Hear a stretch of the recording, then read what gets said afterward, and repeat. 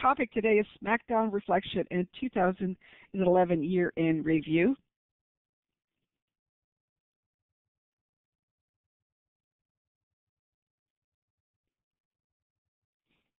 And I was having trouble with the slides already. There, and our special announcers, co-hosts are Kim Caise from San Antonio, Texas, myself, Lorna Costantini from St. Catharines, Ontario, and our famous Peggy George from Phoenix, Arizona. We're very pleased to have such a great supportive community who've allowed us to uh, move forward in uh, enjoying the opportunities with you as our guests on a regular basis and we wouldn't miss a Saturday if we unless we get sick. So after that, um, we're always here.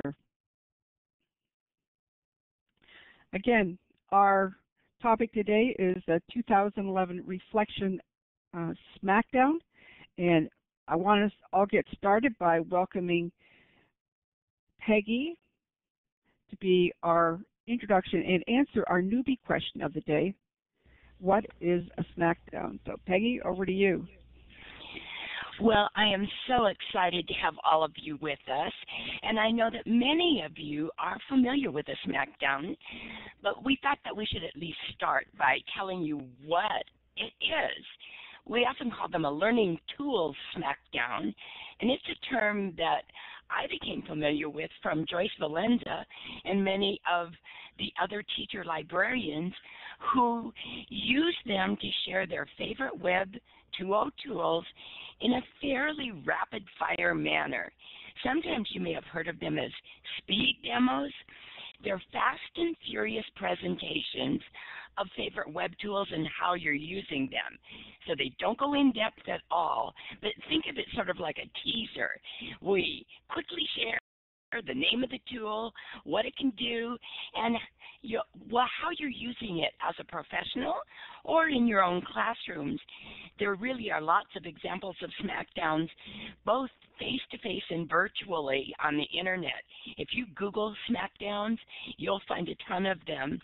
There was a fantastic Library World SmackDown in November that we actually have included in our live binder today because we're following their fabulous example to manage our SmackDown today. So just to let you know what's going to happen, we invited people to sign up on a Google form if they wanted to share a tool today and to create a slide for their tool. So if you signed up or prepared a slide for our SmackDown, when we get to your slide, we're going to ask you to raise your hand. Do this as quickly as you can, and we'll give you the microphone. So as soon as you have the microphone right beside your name, click on the talk button, that's really important, and begin sharing. Um, you don't have to ask if we can hear you, just assume we can hear you. And if we can't, then one of the moder moderators will jump in and tell you that we're not hearing you. We want to try as be as efficient as we possibly can to allow as many people as possible to share. Each person will have a maximum of two minutes to share your tool. And Lori's going to help us with the timer, and the timer will be set as soon as you begin talking. So we want to give you those few seconds to click on talk and get ready to go. If you finish in less than two minutes, no problem. We'll just move quickly on to the next slide. And if no one raises their hand to speak when the slide comes up, that means they submitted a slide but they're not in the room. We'll try to share their information or we may ask one of you to say, have you used this tool? Can you tell us something about it? In the library SmackDown, they somehow, I don't know how, but they managed to get at least 50 tools shared in just under one hour. So we're hoping to get through all of that and end up with extra time for others to take the mic and continue sharing at the end, even though you don't have a slide. So be thinking about something you might like to share. It's not too late. And just be sure to run Audio of your Setup Wizard to test your mic before you raise your hand um, I guarantee your head is going to be spinning by the time the hour is over. But do remember, all the links are in our live binder, and the recording will be posted when the show is over so you can view it again. And now, to kick off officially our SmackDown reflection, I should say reflection SmackDown, we want to take you on a web tour and show you a little Animoto that we've created to give you a quick review of our year on Classroom 2.0 Live. And I'm going to drop the URL in here. You'll also find this in our binder. And I got to click once more to get to that one. I don't know why it does that, but it does. Um, so you can view this later. But we're going to ask you to take, it's just under two minutes, and you're going to need to click on play yourself. But as it starts playing, you're going to see the year-in review for Classroom 2.0 Live. Go ahead and click on play now.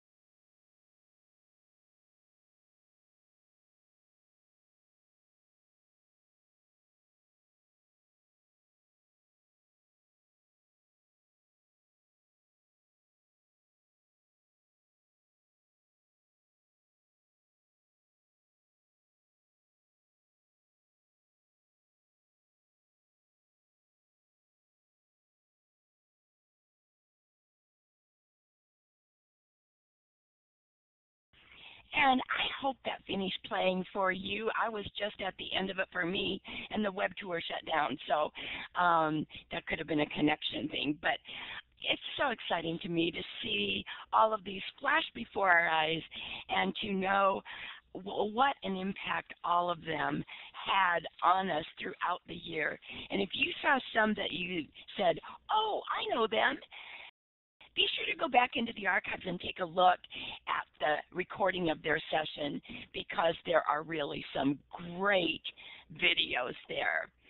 And on this slide, just to capture it in another way, and this is also in our live binder, we've done a Wordle, and this captures every presenter and every topic for the year.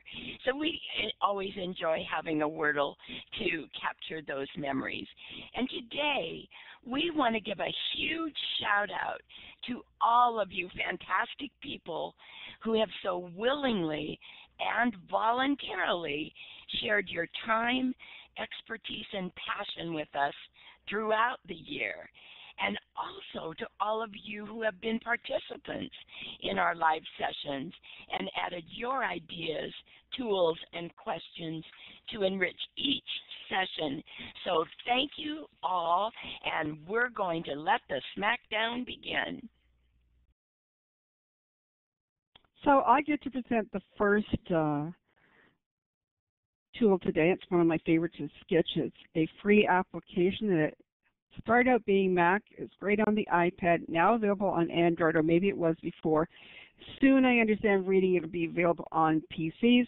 It's a great screenshot screenshot sharing, that's a good mouthful, uh, tool that I found terrifically helpful when I'm doing my screencast. I'm able to capture a picture, annotize it with uh, text with arrows, with circles, and drag it right onto the timeline while I'm making a ScreenFlow screencast. When I was reviewing the Skitch website, I found another great tool that I'll combine with Kim in a second, and that's the ability to take a screenshot on your iPad, annotate it, drop it into Evernote, and then do a recording. So it's terrific if you have someone on a map and wants to know where to go, that you can email them the link or you can send them the Evernote itself to um, give them a sense of where they're going to be so they won't get lost. So that's my tool and it's Skitch. So I'm going to give the mic over now to Kim. Great, thank you very much. I'm going to talk real briefly about Evernote. And um, Evernote just acquired Skitch and I use Evernote quite a bit, and I use it on my phone, I use it on my iTouch, my iPad, and my PC as well as my Mac, and I just it's just a great application. But I mainly use it when I go to a conference, um, as well as when I'm searching the web and doing research, preparing uh, presentations and so forth. I create different notes within Evernote, and I just keep track of like all the different mind mapping tools that I come across, um, all the different activities that are associated with the conference. I save all of those into Evernote and then whatever device and I sync it and then whatever device I'm using at that moment I can access all of the notes the the pictures that I've taken and uploaded um, if I need to get something from my PC to Mac real quickly I'll put it into Evernote and then just access it on the other computer um, it's just very quickly and they have what they call the trunk where they have all kinds of different applications that integrate with Evernote and work together with it that you can use to um, with in all kinds of a variety of ways that you that you may not have thought of, and you can share different things and notebooks with your students if you were to use it in the classroom, and you know like a different each subject or each as long as each student had an access to an, an account with Evernote, then you could share different notebooks and resources similar to OneNote, yeah, uh, within Evernote. But I use it personally um, just as an organizational tool. But if I were still in the classroom, I would definitely be using it. So that's how I use it. Next up is Peggy. I'm a clicking crazy lady here. the tool I want to share with all of you today is Scoop.it. And I know some of you have discovered it, but I am loving it for compiling resources. And it's basically a curation tool. So you can add new sites to it every day if you want to. And you can have up to five topics for free on Scoop.it. And I'm going to quickly take you to this one so that you can see how it actually works. Um, there, it should be coming up for you. And this is a Scoop.it that I created for screencasting and for the flipped classroom. And I love that you can follow other people Scoop.it. So when they add new things to it, you get notified. But it basically brings up an image that you can choose.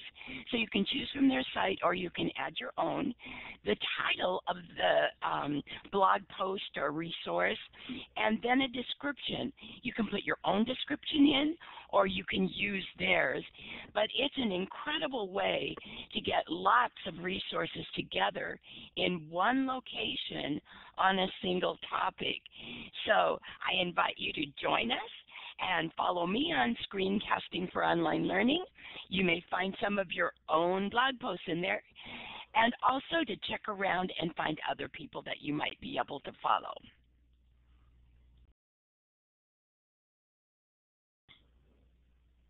Peggy, in your 20 seconds, can you talk about how you can add to different people's Scoop.its? Sure. I just closed that. um, th there is, um, I'm going to go back into that, and I'm not sure uh, if you're going to see this Eh, the wrong one came up. Um, now my 20 seconds is gone. Anywhere, there's a little box up at the top that you can click on Curate. And when you click on Curate, it brings up lots of suggestions. Many of them won't apply. They're coming up based on the tags you choose. So um, you can discard them if you're not interested in them. So I apologize for running over time.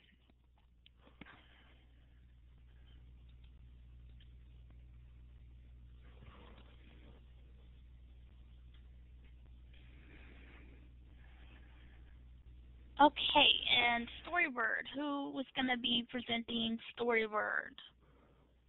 I think Heidi Weaver was going to do that, and I'm not sure that she's in the room. If she is, Okay. can she ask her to raise her hand? Heidi, if you're here, if you could raise your hand um, so that you can share your tool. If not, we'll um, share what she put on the form. Or if anybody else has used Storybird and they'd like to share how they've used it, you could also raise your hand. I'm happy to. I'm happy Okay. to read it if we don't have anyone sharing. Shall I go ahead? Yeah, go ahead, Lorna. Uh, Heidi told us it's an online creative writing tool. Uh, it's an online storyboard. Board students can create books on a given topic or use their own creativity to create a book. An artwork gallery is part of the site, and students can choose an artist or set of prints to use in their book. I used this several times last year for my fourth graders, and they really liked it. Several went home and wrote books on their own. I modeled how to use Storybird first with a book. I created about a student's fear of the upcoming state test, and we created a class book about their mums for Mother's Day. I sent a link home in a newsletter. Finally, students created their own story about what they were going to do in their summer vacation. Since most of the students have many anxieties about writing, this was a different way to get them involved in the writing process. Students write a story using artwork from the gallery. Other students can read and comment, make suggestions, or ask questions of their fellow authors. I choose this tool because it has helped students get over their anxieties about writing a story. They could write and have their pictures help form their ideas. So there we go to the next slide. Great, thank you. Sounds like a very non-threatening way to engage your students. Okay, and Karen McTeach. Let me give you the mic.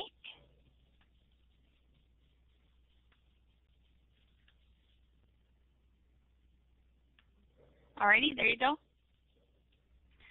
Okay, good morning. Um, so I just finished doing a social studies smackdown with my seventh graders, and after two days of it, I'm so tempted to start with my topic is Google Forms, or the ever so popular I am going to be talking about Google Forms. Um, so what I did this morning was to create a Google Doc with a bunch of links for you. Um, some are sample forms that I've used, and then there's a couple of other things like Tom Barrett's um, interesting ways to use Google Forms. And let me put that in the, uh, the chat there. And then I also added a tab in my, uh, my Google Apps Live Binder um, with example Google Forms. So that's that link there. Um, but I use them with my students to uh, basically gather information from them. The three that you see on the slide, one is the homework Dropbox.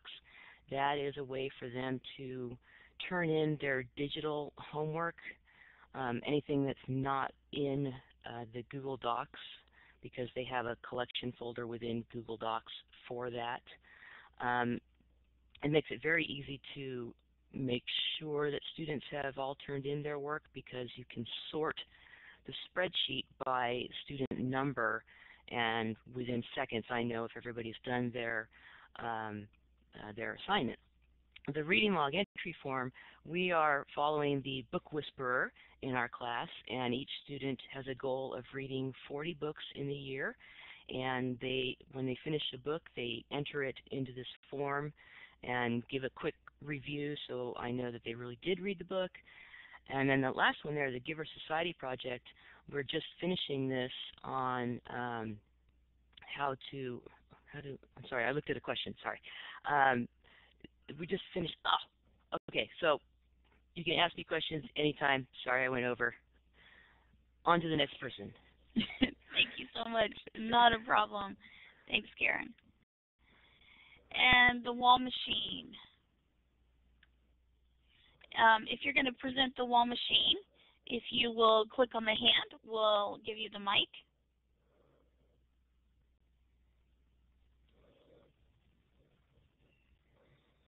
If not, I can go ahead and talk about this.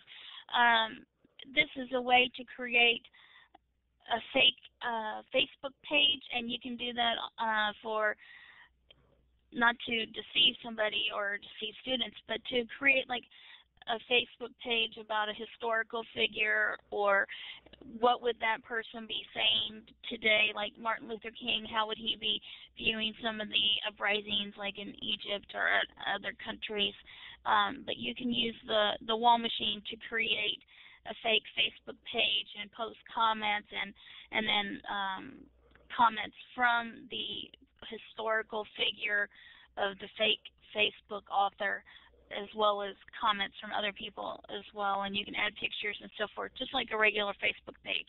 But it's great yes for novel characters any any his, historical or fictional person that you wanted to uh, create a fake Facebook page for you can do that with the wall machine. And it looks similar very similar to it and works just like a Facebook page. So thank you for sharing whoever submitted that and let's go on to the next one, which is working in groups. Wigio, if I'm pronouncing that correctly. Great, Shannon. Let me give you the mic. And I know, Shannon, you had mentioned earlier that you wanted to use uh, to show your desktop is there um, a website that you'd rather use? Are you familiar with application sharing? Hi, no. So I just wanted to first say um, Keith is one of our clients and submitted this. Um, I'm part of the Wigio team and I work really closely in developing this group with him. So I just wanted to say that first um, before starting and um, just tell you a little bit about it and also uh, since I have access to his group, I wanted to see if I could share my screen and show uh, just what his group looks like and how he's using the tool. Super. Let me see if I can guide you through this. Um, go ahead and click on the, if you look at the top next to, uh, there you go.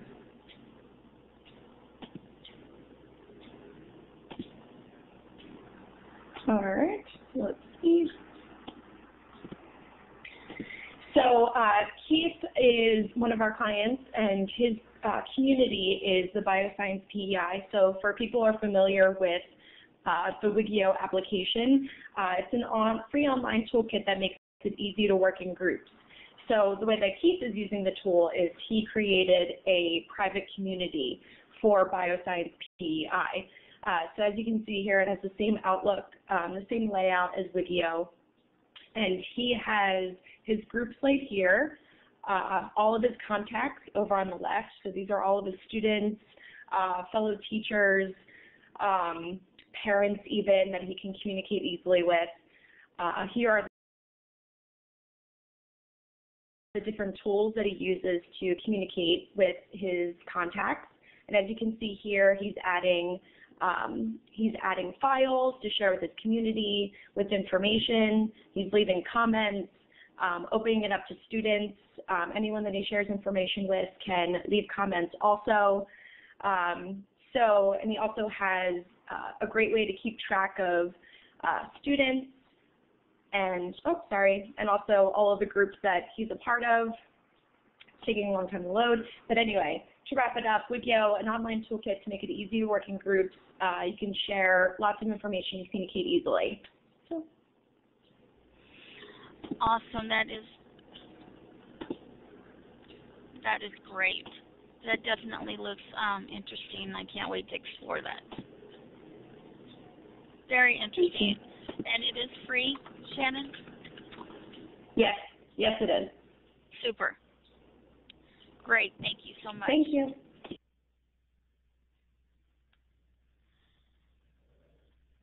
Amazing. I've I've heard of it, but I hadn't explored it much. And now we're moving on to Blog Talk Radio. Um, if you would like to present on Blog Talk Radio, go ahead and click on the hand, raise your hand, and we'll give you the mic.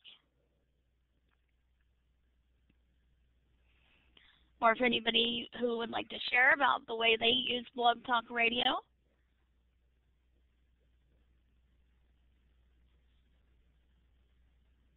Great. I figured you would. I was hoping you would, Becky. I'm just going to jump in real quickly. I'm a huge fan of Blog Talk Radio because it's a free online service that you can use to have a regular show, whether it's uh, once a week, once a month, once a year. It's an internet radio show. It's like a podcast. You stream it live and it records it for you. And I learned about Blog Talk Radio when I first started listening to Liz Kolb do her regular shows about um, using cell phones in the classroom. Surprise, surprise. And she always had fantastic guests on to talk about how they were using cell phones in the classroom and some of the problems they ran into and some of the things they worked around. So if you search for Liz Kolb on Blog Talk Radio, you'll find her show. All of the archive shows are there. She's not doing it currently, but we might be able to persuade her to come back. But anyone can set it up. Students can do it. It's really easy, and it's like creating your own podcast. So I think you ought to check it out. And for a 30 minute show, it is free to, to use as often as you'd like. So check that out. I think it's a really great tool. And let's go on to the next one, which is Picture Trail. If you'd like to present Picture Trail, please raise your hand and we'll give you the mic. Or if anybody is familiar with Picture Trail or have used it, you're welcome to share that as well.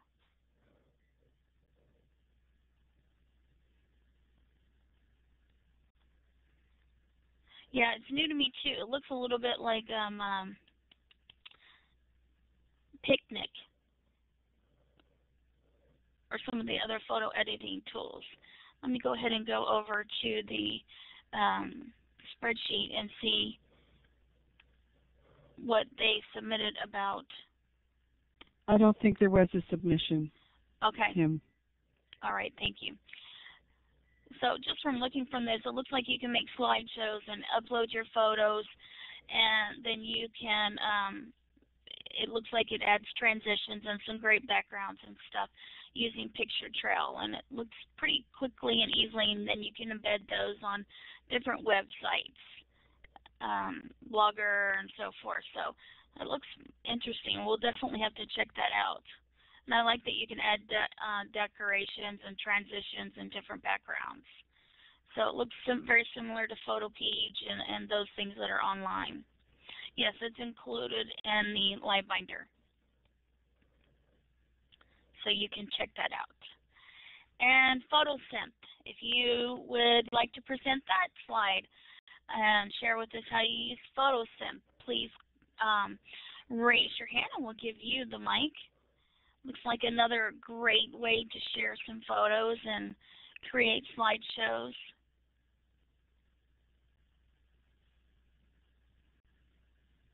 I'll have to check out PhotoPen. I think we have the same thing with Photosynth as we did with uh, Picture Trail, Kim. Okay. So that's another one that you're going to want to check out and explore, but it looks like another great way to um, organize your photos and manipulate them and put them against the background and create some really stunning slideshows as well. And then you can, it says you can publish them to Bing um, full of simps. I guess that would be shoot wraparound panoramas that's that's cool if you can shoot a big panoramic picture, capture your world in 3D and share them with friends. So that sounds very interesting. Oh, it makes great mosaics of your pictures. Cool. So that's definitely one that um, we can check out as well and explore in all of our free time that we all have. Okay, now we're going to move on to the slide for eight free tools from Microsoft. If you'd like to present this slide, please raise your hand. I know, so many tools, so little time.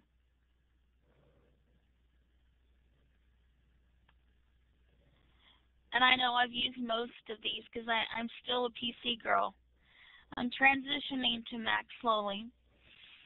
Uh, the interactive classroom is a plug-in to PowerPoint that lets you uh, do polling questions within your PowerPoint and it shows you the graph. Carolyn, did you want to speak to the slide? Go ahead, you have the mic.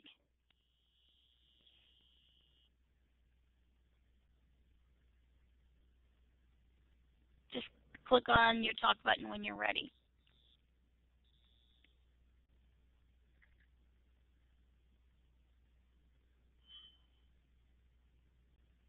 I'm not hearing you, Carolyn, so you might want to try the audio setup wizard.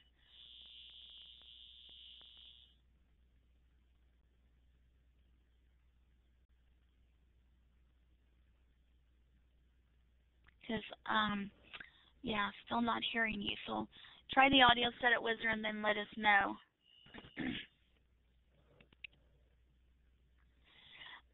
the Microsoft Math is a graphing calculator I haven't used it, but it, it's um, it can get really complicated and very complex uh, graphs that you can do in 2D and 3D, and um, as well as just a regular graphing calculator that you can use with your curriculum and mouse mischief. Um, some of you may have used that. It's an add-in that you can add into, or plug-in that you can add in into PowerPoint, and as well you can do uh, polling and questioning and so forth as well. And um, some really interesting little things with it. And Movie Maker, uh, where you can create movies and slideshows and create videos, edit your videos with audio and, and transitions and titles and credits and all of that.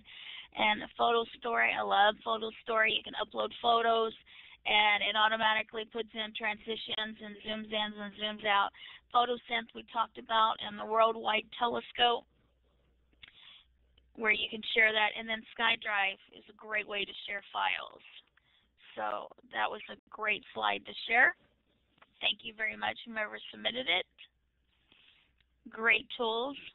And of course, you have to be using a PC for most of those things. Okay, I want to make sure I didn't skip. And my ebook, because ebooks and uh, online books and EPUBs books are becoming great. And if you'd like to, the latest thing, if you'd like to present this slide, please uh, raise your hand.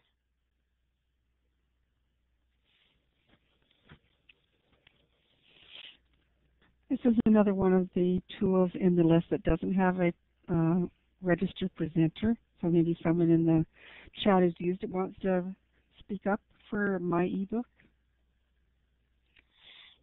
It looks similar to Issuu or Lulu where you can publish it and it does it in a flash way that adds some great uh, graphics and the way that you turn the page and so forth. Simple booklet looks similar to that as well. Maureen?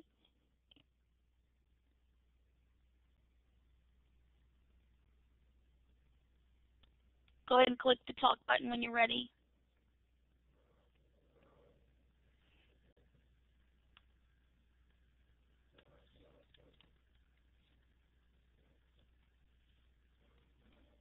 Okay, I'm not hearing you. Okay, can you hear me now? Oh, yes, now we can, Good. yes. Okay, um, this is one that I didn't submit, but I've used this a lot before. It's super easy to use. You can upload files and actually you have resources that you can save there in case you want to use them again for something else.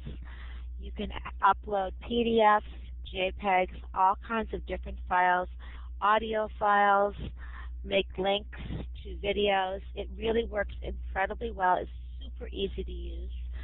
And I've used it for lots of um, different books. They're embeddable afterwards for lots of different topics. So I like it. Oh, sounds awesome. A great tool for digital story uh, activities.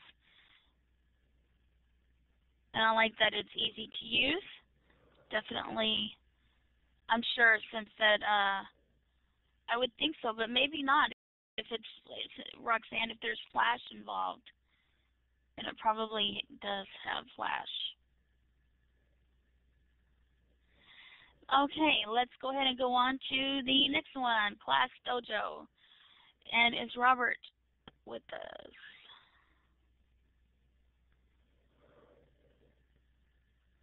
Yeah, e-book, e-books and uh, or or online books, EPUB books sometimes work. Depends as long as it's not flash based or Llama. And um, Class Dojo. Has anybody used that? I've looked at it briefly. Um, it's a great organizational tool and to give feedback and stuff to your students. It is a free tool. You've used it, Paula. If you want to speak to it, you're welcome to do so. But um, I'm not very familiar with it. I know, I thought Zoe was going to. Anyway, I, I forgot who was presenting this one. I apologize. Great, Paula. Let me give you the mic.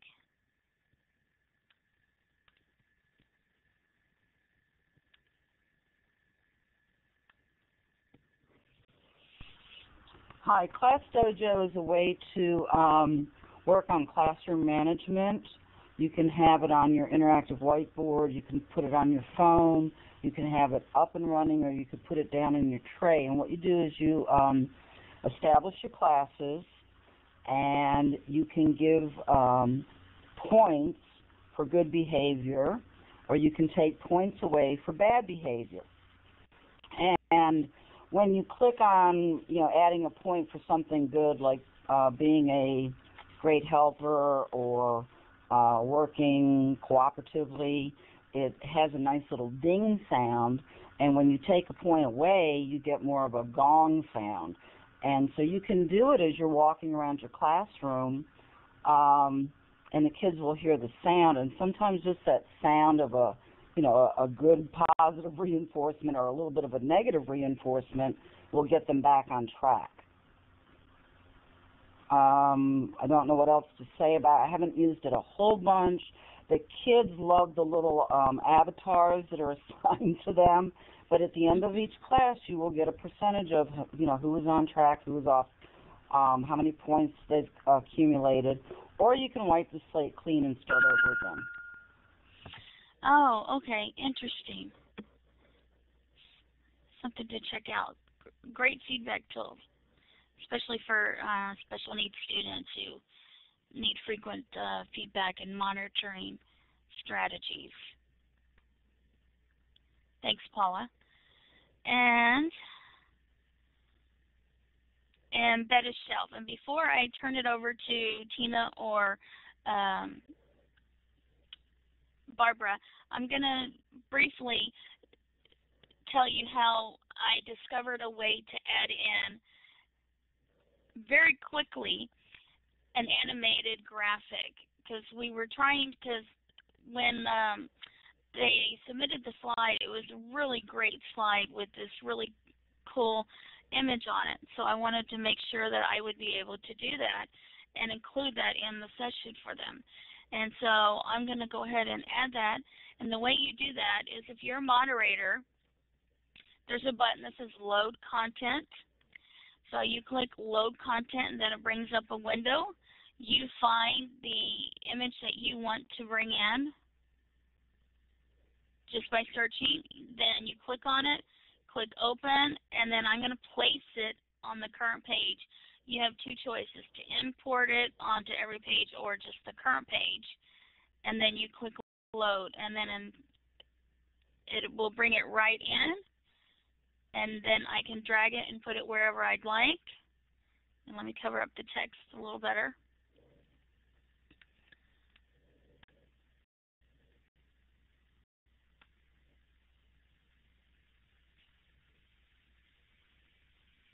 You can see that I can drag it. I'm having some problems with it because my computer is slow.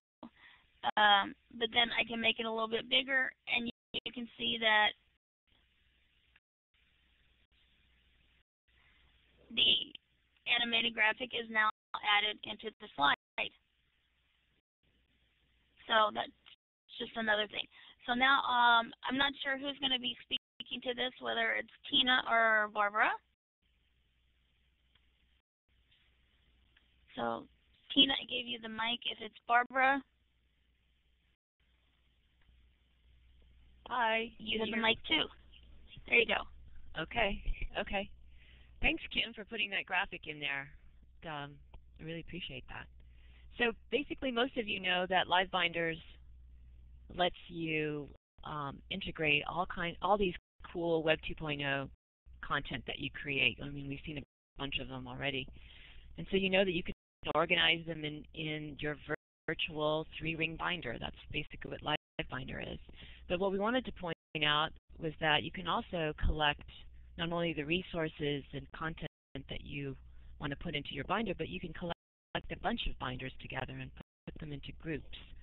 So we call those um, organizing them on like your custom shelves.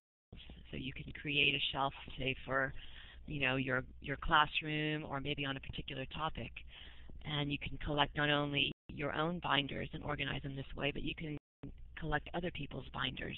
And we're finding that a lot of teachers are doing that. They're collecting not only their student binders and putting them on a shelf, along with their own binders, or maybe there's somebody out there on LiveBinders who who's done the work and the resource, and so you want to put that and make it available to your students on your web page. So one of the things um, that we weren't sure you uh, knew was that you could embed these shelves on your website or your blog. So um, I'm not going to open up the binder, but if you, you were to click on that link below, and maybe somebody can copy that into the, the chat session it gives you examples of some of our users who've um, embedded shelves onto their web pages. So for example, we have um, teachers who've collected resources from um, other people in the LiveBinders community like Steve Anderson or Mike Fisher and put them on their website because they, they want their students or their colleagues to have access to those binders. Or they've collected a whole bunch of other people's binders and um, put them on their website. Oh, somebody's going to open this up for me. Okay. So, oh, this is uh, Classroom 2.0. Let's see. Is this the one? Should I try to open this link here? Do we have uh, shelves in here? Let me see. Oh, okay. So here's an example I'm shelf. clicking back to the main site. I'm not sure if it's going yet. Okay. I don't see it yet. But anyways, we've got, um, you know, Mike Fisher has his own blog site called Digigogy, and he has a shelf of all his resources located at the bottom of his blog page. There's another, another example we had where um, a student, uh, a, high school, had created a homework shelf on their website so that all the students in the school could just go to the homework shelf and grab the binders that they needed for that particular class. Um, I don't know if you guys are familiar with TeacherCast.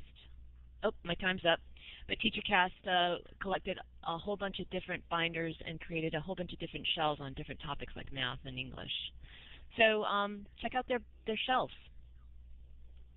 Thanks, everyone. Great, thank you. And Barbara, were you going to share something about um, new about LiveBinders?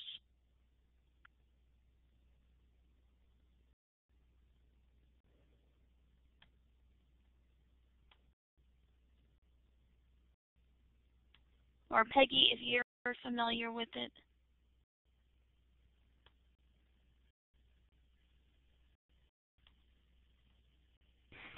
I'm not sure what you're talking about, Kim, but that was the the hot tip that we really wanted people to know about, that they could share um, shelves with other people and that they can also copy um, LiveBinders into their own shelves. So that was the tip for live binders.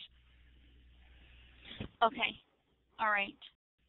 Great. And if there's time, we can go back and, and do some app sharing and talk about that. Great. Let's go on to Edmodo. And I think, Paula, were you presenting that? Let me find you, Paula. There you go.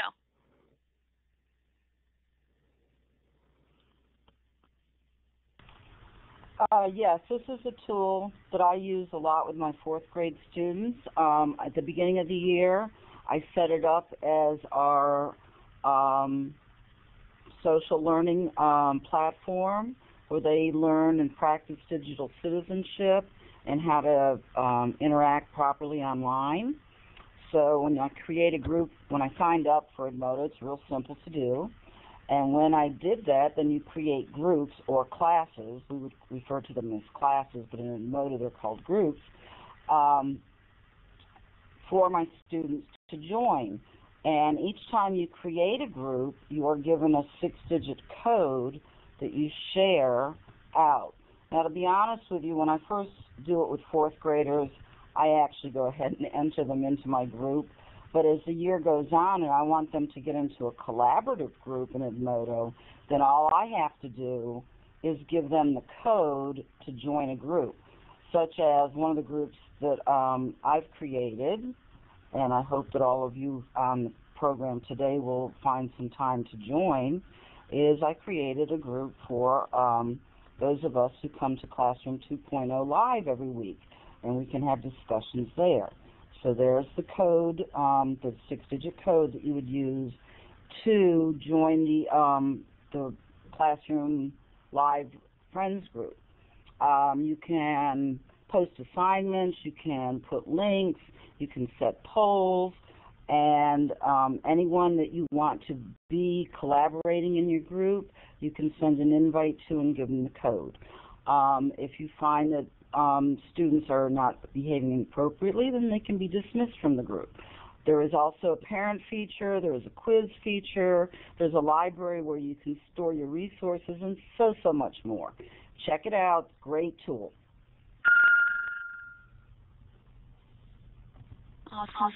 Paula.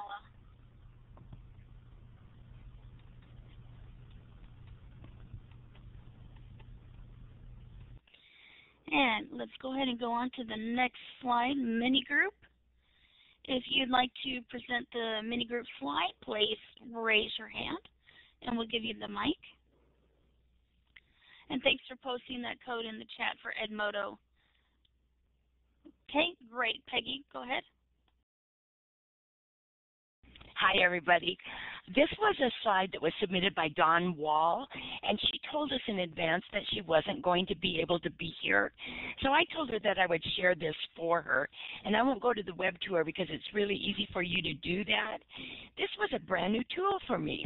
She says that it's a format similar to Facebook, but a much easier interface, and that it's really been useful for planning events or working on projects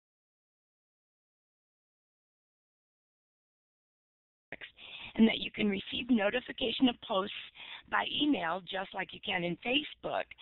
Um, she also said that a really nice feature they have recently added is the ability to respond to a post directly from your email, uh, similar to Posterous, I think. Also, the groups are private, and the owner determines whether group members can invite other members or not. So some examples for things that she has done with it. She said that they used it for event planning, like Bosses Day, and that it was so much faster than email.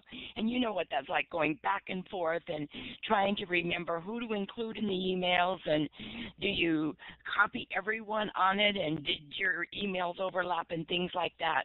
And she said when people signed up to bring food, she could edit her original post to keep an ongoing list of what was still needed. They also used it on a, a recent project where teams and individuals had to perform different tasks. So it was just a great way of keeping track of who was doing what and what the next step was. So it avoids all of that hassle with emails and they're in mini groups, so they're all organized. It is um, there is a free version, and the the paid version. This this is amazing to me. Starts at three dollars a year, and you can have um, three mini groups for that price. So check it out. Three dollars a year. I think um, I can handle three dollars a year if I needed that service. Thank you very much, Peggy and Dawn, for submitting that. And now we're going to head over to Carolyn. And Carolyn, you have the mic. Go ahead, over to you. Okay, can you hear me now? I ran the setup. Loud and clear. Great. All right. First, I will start with Pic Collage because that's the quickest. This is an app for the iPad, and it is a very easy way to use pictures that are in your uh, photo library on the iPad. You just select them, slide them into this collage background, and you have a number of backgrounds to choose from. And depending on how you press on the picture, you can send it to the back, bring it to the front, use two fingers to rotate it. And what is really cool is you can send it in an email, you can save it back to your picture collection. Uh, this is one for, I went to Westchester Day of Discovery and uh, here was uh, Hall Davidson talking and some different people who had won prizes. It's a fantastic, very easy thing to use. And once you saved it as a JPEG, you can put it into a greeting card, do tons of things. However, the thing I am most excited about is the Splash Splashtop Remote Desktop for iPad. My iPad was limited, as somebody had said earlier, because you couldn't run Flash applications on it. And in addition to that, uh, I was always frustrated because I could not participate in webinars. Well, with Splashtop on my iPad and on my iPhone, I can log in remotely to my computer as long as it's up and running from any location. When I'm in school, I was able to log into my uh, classroom computer uh, down in another wing from the media center. When I was at school, I was also able to log into my computer from home. Once you have logged in through Splashtop, you can do anything on your iPad that you can do on your computer, including participating in webinars. Okay, I guess I'm done. Thank you. Oh, that's great. I downloaded Splashtop when it was free, but I haven't used it yet or set it up. But I didn't realize, I didn't even think about being able to participate in webinars. I would definitely check that feature out. And let's go on to the next slide. And this is Snack Tools. And if you would like to present Snack Tools, raise your hand and we'll give you the mic. Or if you've used Snack Tools, then uh, feel free to share how you've used it.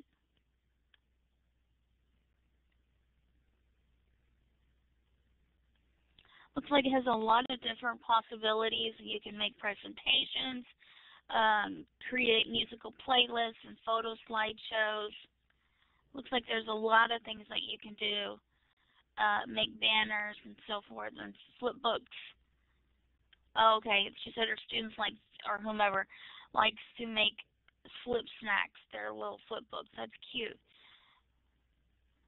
So I'm sure that um, that's another tool I will be checking out after the session, uploading some photos and uh, and trying some out some of these new tools. So thank you for sharing and submitting snack tools, whoever submitted that. Now let's go on to PicLits, and that's such a cute picture of that dog there. And if you'd like to talk about PicLits, raise your hand. We'll give you the mic. Or if you've used PicLits, I know we had them on our guest as a guest on our show before. And the different ways to use PicLits in your classroom, and uh, it's great for students. Uh, who might be reluctant because they can drag and drop, they can upload pictures and drag and drop the words, and um, if if they're not sure of a word they want to use, they can definitely. Yeah, we had a whole show with Terry Friedlander, one of their developers and creators, um, and that's in our archive as well, along with all the resources that were shared during the PicLits session. But it, it's a very non-threatening way for um, for any student poetry, um, and yes, it is free.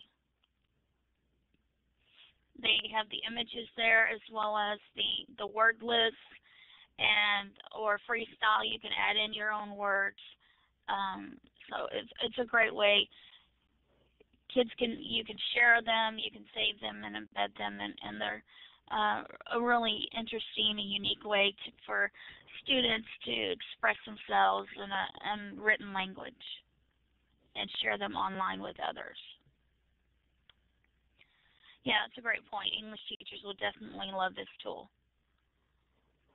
So thank you for submitting uh, uh, and Symbaloo, the educational version of Symbaloo. Great, Patricia. Let me give you the mic. The mic. Great, thank you. Thank you. Okay, hi. Um, the free web tool that I'm sharing with you is Symbaloo for educators. Uh, teachers can create their own start pages for their students or a professional learning network, and students are also able to cre create their own start page with a color-coded visual representation of their resources. They can put websites, videos, there's a notepad, Google Docs, all the, the um, ideas we have today with Evernote, um, and many other learning tools can be utilized as one colored square. Um, the middle section can store your favorite search engine, which you can use right inside. And the snapshot on, snapshot on my slide is um, a representation of the K-3 weather unit that I wrote in graduate school. So I added games and simulations, teacher resources, and important websites for students and teachers. I color-coded it that the red was for students and the green was for teachers to use, and you can use the pink pretty much for everybody.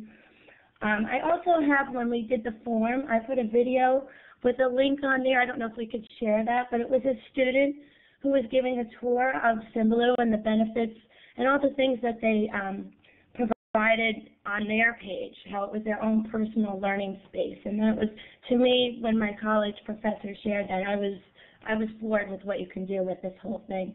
Um, I actually plan on making a start page today of what resources we shared. And um, you can go into Symbaloo and also search for different topics, and you could start using the pages that are shared with everybody. So I think it's great for both, you know, teachers and students. And I'm a visual person, so that's why I just loved how you can color code everything. And I think that's it. Thank you very much. Great. Thank you so much, Patricia. Great. Thank you so much, Patricia.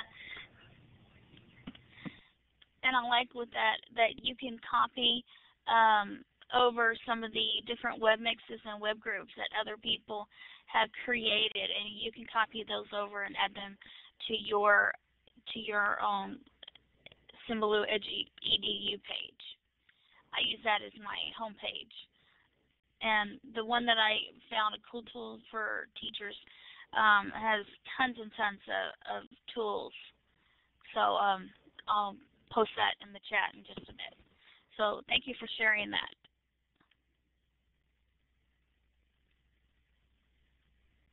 Oops, wrong thing. Give me just one second.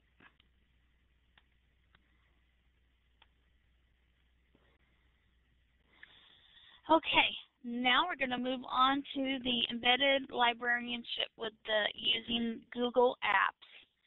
And if you'd like to speak to this slide, great, Zoe. There you go. Hey everybody, it's actually Zoe, not Zoe. I think Zoe Branigan Pipe has ruined it for me forever. Um, but I wanted to talk today about an underutilized feature in Google Apps. We've been a Google Apps school since 2009, and um, one of the things that I've been doing as a librarian is trying to figure out how I can inject myself more into the learning process. You kind of can't just wait for teachers to show up at your door because they don't really do that. So um, we knew about the comment feature in Google Apps, uh, Docs, presentation, and in spreadsheets, but um, that didn't always publish well. Sometimes you can't publish the comments. So what we started to do is actually embed our expertise into these documents that the teachers are building. So if a teacher will share docs with me, then I can go ahead and put my you know expertise directly into these docs. And we started with these A to Z research lessons, which were frankly kind of dry and boring. Um, but they started sharing the docs with me, and I started putting in all kinds of information so I can provide just in time and sort of point of need support for students. Um, the students really like it. It's taken a kind of a boring exercise and made it interesting for them because I throw in all kinds of things. But mostly, what I'm really focusing on is pu uh, putting in our safe searching resources, those subscription databases that cost us a lot of money that are underutilized. So students are using them, teachers are using them, and most importantly, parents are using them, and that really matters a lot when it comes time to uh, get those databases um, re-upped again. So it's been a really great thing, and I'm being able to I'm able to provide sort of virtual assistance for students. I can model for them virtually, which has been really cool. And I almost feel like this should have probably been on the librarian smackdown, but um, this is when I caught it, and here's my chance to talk about it. Uh, there's also a link um, to my uh, blog where I go into a lot more detail about how this actually works and how you can use it. And I'm just about out of time, so I'm going to wrap up. Thank you so much, Zoe. That does sound fascinating, and um, I can definitely see how teachers would really enjoy that collaboration, and, and I think it's great that that you're supporting those databases, and then you have a way to justify uh, repurchasing those the following year when you have your lesson plans. That's awesome. And Linowit, Linowit, I'm not sure, I can't remember how to pronounce that. But if you'd like to speak to this slide, raise your hand.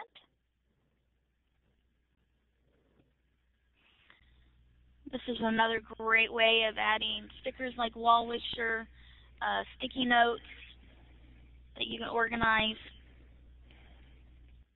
Peggy, uh, did you want to speak to this one? Sure, just quickly. Great. I'm sorry the the two people that um, submitted these last two slides aren't in the room, but they actually call this Lino or Lino. I, I call it Lino. Um, and the it is part of the URL. But I love this as a as a bulletin board to share things. I like it better than Wallwisher. I find it much more responsive. And you can add the images. You can add um, comments and follow a thread on it and just jump around to different parts of the screen.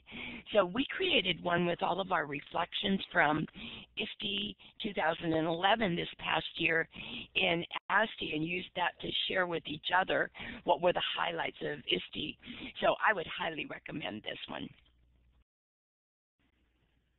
I agree. This one's a great one too.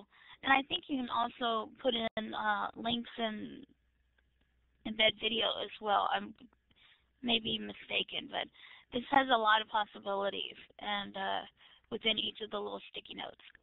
It's a great tool to use as well. So thank you whomever submitted Lino. Lino is, I think the URL is lino, L-I-N-O.it. And Jan, let me give Jan the mic. It's going to talk about, there you go, thank you. It's going to talk about Dropbox. There you go. Good morning.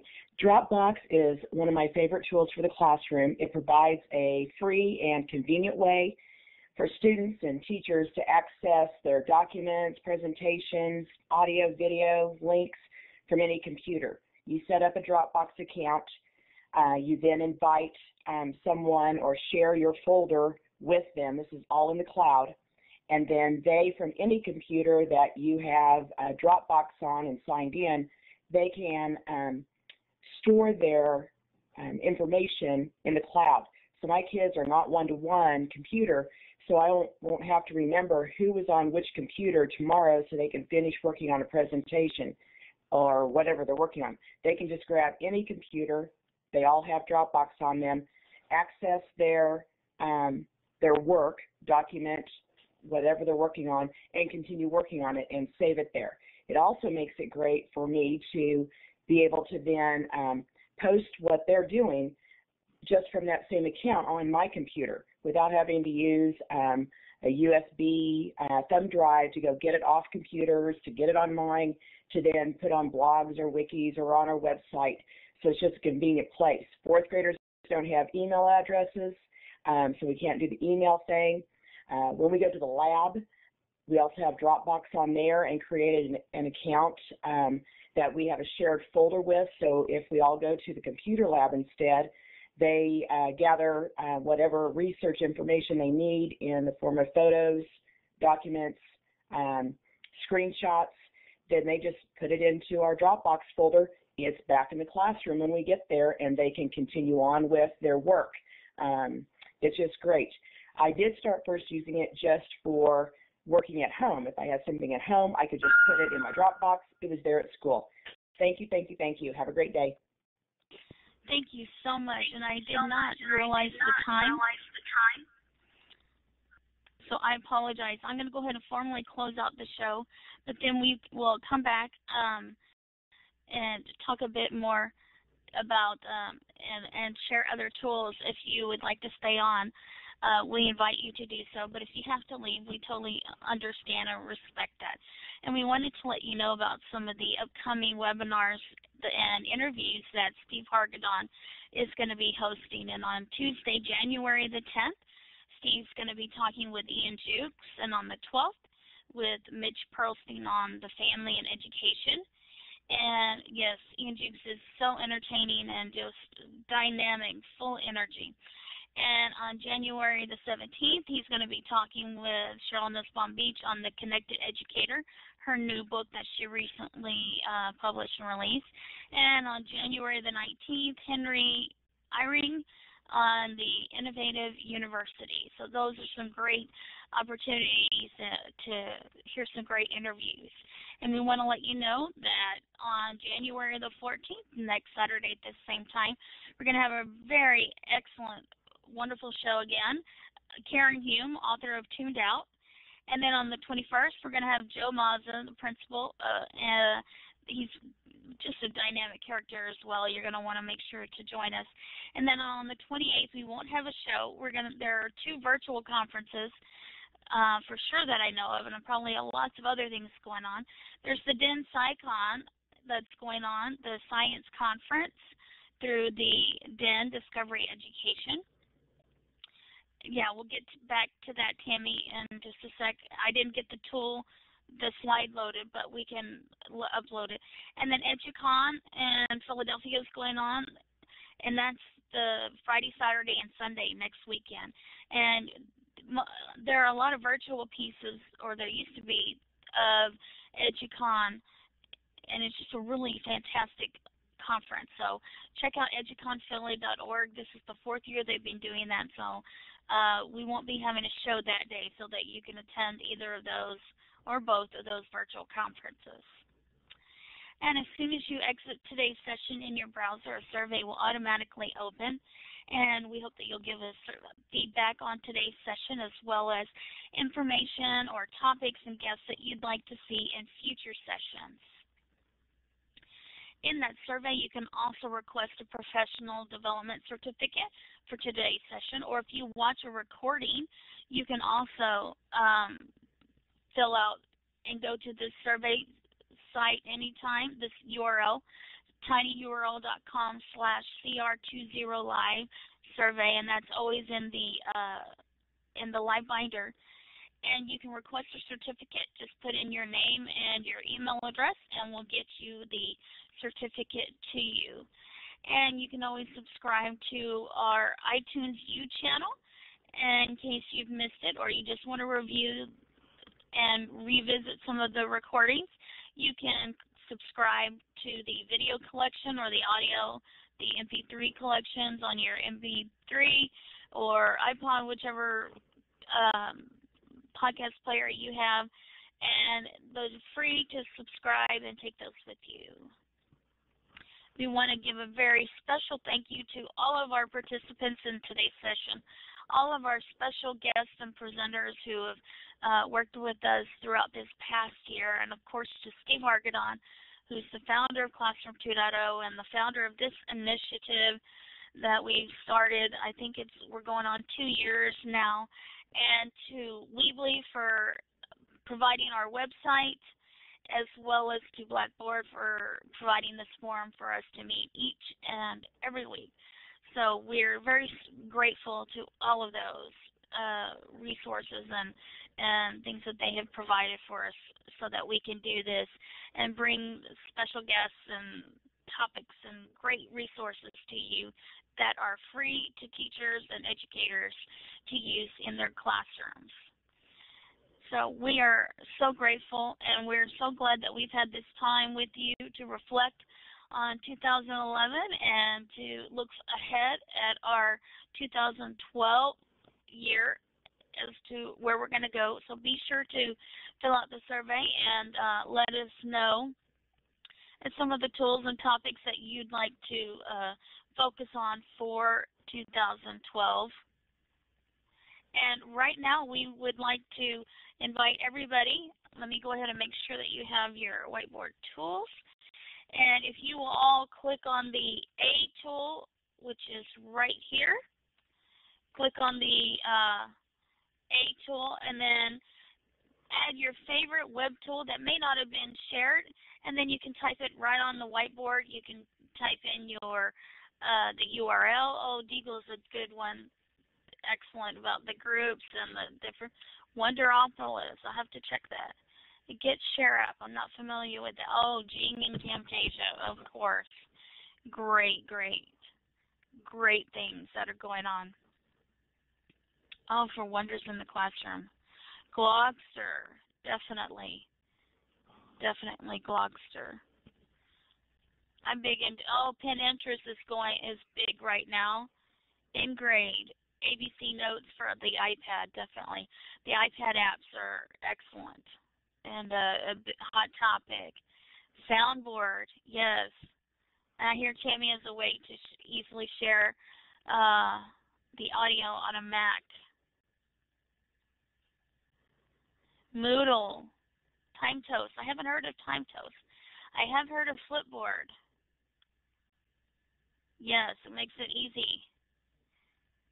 MentorMob. I haven't heard of MentorMob.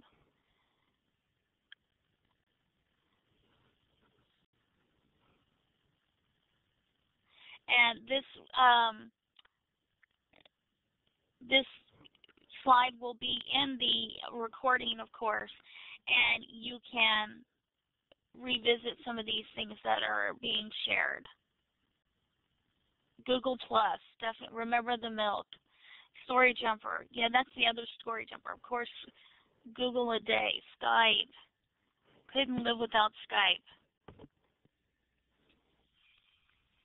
CloudOn. Oh yes, I, I saw some discussion about that earlier. In Dropbox. Oh, I used to have an Outlook plugin that would allow me to uh, upload directly from Outlook to my Google Docs account.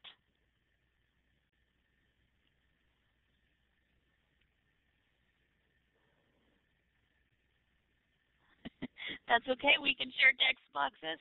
Uh, but these are some great tools, and there's so many, many, many, many um, that uh, we're so grateful. We also have a Diigo group that when you find a tool, you can always save it to the group as well and keep propagating those resources throughout the Diigo group um, at Diigo for the Classroom 2.0 Live. There's a Classroom 2.0 one and a Classroom 2.0 Live group. Big, huge labs for Flickr projects, definitely. So these are all some great things. Blueberry Flashback Express Screen Recorder. Have to check that out. I haven't used Screen ScreenChomp or the uh, Show Me apps on the iPad, but I know those are great um, recording, uh, screen capturing tools on the iPad. And KJ, I'm glad that you find those helpful, those Diigo groups. Oh, and NowComment. Yes, for keeping track of your comments and coordinating those. So these are some great tools. I know that in Tiki-Toki, NASA Quest, Snagit, and I'm really loving Skitch with uh, Evernote and that Lorna was saying that you can, you know, do podcasts and audio recordings within Evernote attached to a photo or a web page and all kinds of things in the Evernote trunk that you can integrate with Evernote. A lot of these things that you're mentioning here on the slide right here will integrate with Evernote as well. and I want a LiveScribe pen too. And Peggy, check out the um, eBay. They have some some great auctions for brand new ones. I've been checking them out. And um, Tammy, what Aunt Tammy, what was the the tool that you wanted to share? I forgot. That you You're added talk- at the You were talking about mine? Uh, uh, there's a couple of other Tammys in here, so I just wanted to make sure yeah, it was. it was Aunt Tammy. Um, she added in something at the last second.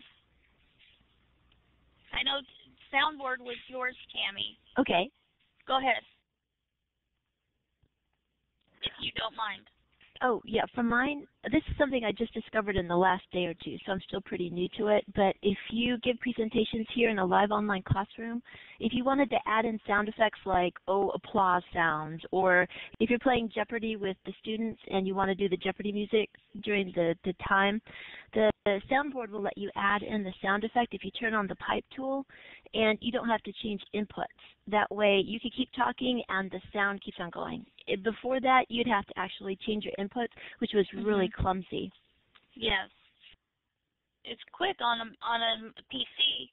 That's one of the good things about a PC. And VoiceThread, I forgot about that.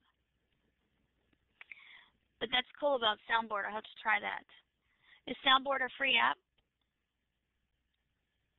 Nope, unfortunately it's not. That's about thirty, forty dollars. Oh, But you can load in your own Still. sound effects, and it comes lo- preloaded with some sound effects already. Traditional things like laughter and applause and things like that.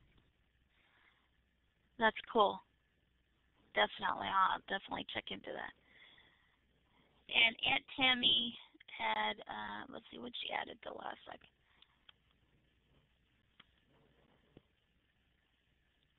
Oh, Planbook EDU, a way to do your lesson plans and coordinate your lesson plans on online and uh, share them online and collaborate.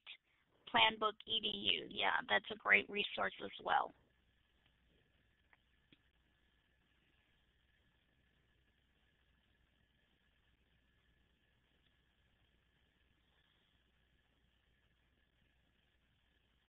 Well, it looks like some of our uh, suggestions are kind of winding down.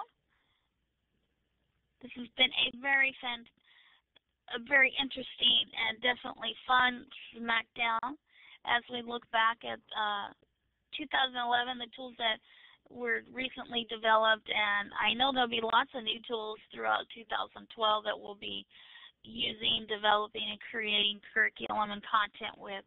And we want to thank all of you for being faithful supporters uh, with us each and every week. And we want to remind you about next Saturday at this same time. Please join us for another fantastic session. And we are so thankful and value that value each of our attendees each and every week. So continue to share, look for us online, and we will see each of you hopefully next Saturday. Take care. Have a great weekend and hope that your 2012 year is off to a fantastic start. So have a great Saturday, everybody.